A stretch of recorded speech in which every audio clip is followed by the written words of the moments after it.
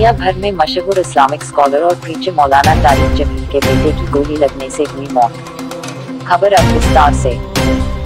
रविवार को दुनिया भर में मशहूर इस्लामिक स्कॉलर मौलाना तारिक जमील के बेटे डॉक्टर आसिफ जमील की गोली लगने से पाकिस्तान में मौत हो गई है। मीडिया में कई तरह की खबरें चल रही है। कुछ मीडिया रिपोर्ट्स में बताया गया है कि उनकी गोली मारकर हत्या की गई, वहीं कुछ मीडिया रिपोर्ट्स में। उनकी आत्महत्या की बात कही गई है। सच क्या है ये तो जाँच के बाद ही पता चलेगा। हालाँकि मृतक डॉक्टर आसिफ जमील के भाई यूसुफ जमील ने एक बयान में बताया है कि वो काफ़ी लंबे समय से डिप्रेशन की बीमारी से परेशान थे। उनका काफ़ी टाइम से इलाज चल रहा था और उनको इलेक्ट्रिक शॉक भी दिए जाते थे।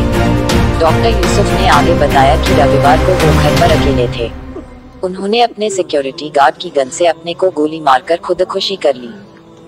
पुलिस सच पता लगाने को जाँच में जुटी है। दुनिया भर से मौलाना तारिक ज़मीन से जुड़े लोगों के शोक संदेश आ रहे हैं। जगा लगाने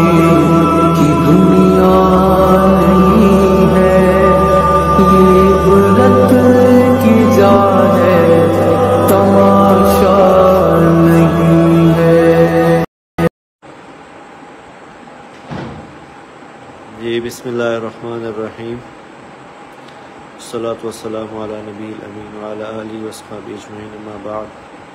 क़ाल ताली बादबिल्लाशैतरजीम बसमीम कुल्लु नफ्सिन ज़ायक़तुलमौत मैं इंतहाई बोझल दिल से, इंतहाई मुश्किल से ये वीडियो मैसेज रिकॉर्ड करवा रहा हूँ आज शाम को मेरे छोटे भाई आसिम जमील की डेथ हो गई,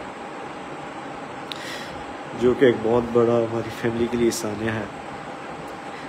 लेकिन इस तकलीफ़ की हालत में भी मुझे मीडिया पे इसलिए हाज़िर होना पड़ा कि बहुत सी नेगेटिव खबरें मुख्तफ खबरें, गलत खबरें मीडिया पर चलाई जा रही मैं उनकी वजाहत के लिए हाज़िर हुआ हूँ कि मेरे भाई आसिम जमील बचपन से शदीद डिप्रेशन के मरीज़ थे।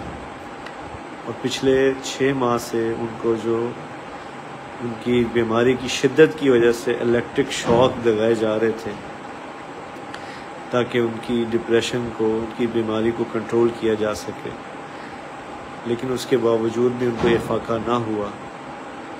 और आज के रोज़ वो इतफाक़न घर में अकेले थे और उन्होंने अपनी तकलीफ़ और अजियत की वजह से बाहर सिक्योरिटी पे तैनात जो गार्ड था, उससे बंदूक ली और उससे अपने आप को उन्होंने शूट कर दिया। इन राजून इसके अलावा जितनी भी बात की जा रही, कोई दुश्मनी थी, किसी ने हमला किया, ऐसी कोई बात नहीं है।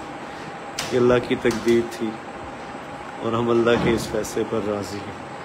आप सबसे दुआओं की दरख्वास्त है। वालेकुम वरहमतुल्लाह